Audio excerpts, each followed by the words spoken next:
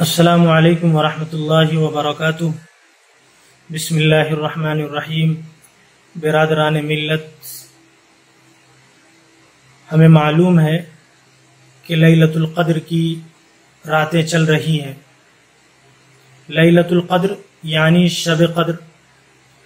हज़रत इबन अब्बास रज़ी अल्लाह तनुमा से मरवी है कि नबी पाक सल्लल्लाहु अलैहि वसल्लम ने फरमाया, इल्तमिसूहा फिल आशर अवाखिर बिन रमज़ान लैलतुल क़द्र, फ़ी तासियातिन तबक़ा, फ़ी साबियातिन तबक़ा, फ़ी खामिसन तबक़ा।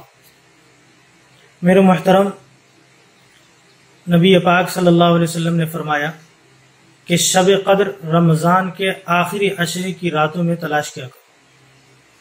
शब कद्र की अलामत क्या है। लैलतुल कद्र को पहचानने का एक अंदाज क्या है। उसकी निशानदेही क्या है। उसके बारे में भी है किताबों के अंदर।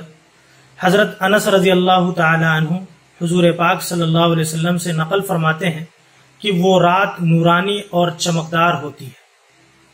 वो रात नूरानी और चमकदार होती है। उस रात के अंदर न ज़्यादा गर्मी होती है और ना ज़्यादा ठंडी होती है। तो ये मालूम हो जाना चाहिए कि ये रात शब कद्र की रात है। नंबर दो, इस रात में सुबह तक आसमान के सितारे शयातीन को नहीं मारे जाते। रात में आसमान पर अंगारा और शोला सा शोला सा जो भागता हुआ नज़र आता है, वो इस रात में नहीं होता। तो समझ लेना चाहिए कि ये शब कद्र नंबर तीन, शब कद्र की सुबह को निकलने वाला सूरज, चाँद के मानिंद शुआओं और सूरजों के बगैर तुलू होता है, किरणों के बगैर तुलू होता है। नंबर चार, समंदर का कड़वा पानी भी इस रात में मीठा पाया गया है, जैसा कि अब्दुल मंसूर एक हदीस की किताब है, उसके अंदर लिखा हुआ है।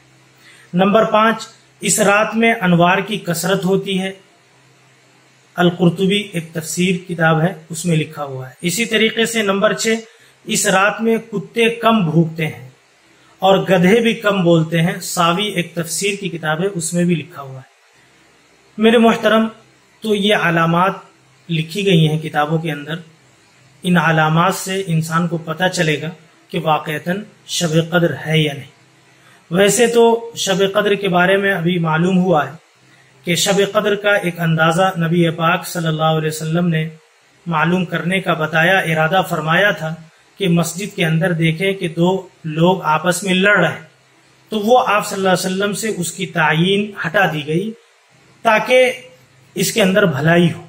हमत यही है कि हो सकता है अल्लाह ताला ने इसके अंदर भलाई रखी हो कि जिसकी वजह से हाँ इतना ज़रूर है कि शब कद्र इन पाँच रातों ही में इक्कीस, तेईस, पच्चीस, सत्ताईस, उनतीस। इन पाँच रातों के अंदर शब कदर ज़रूर मिली।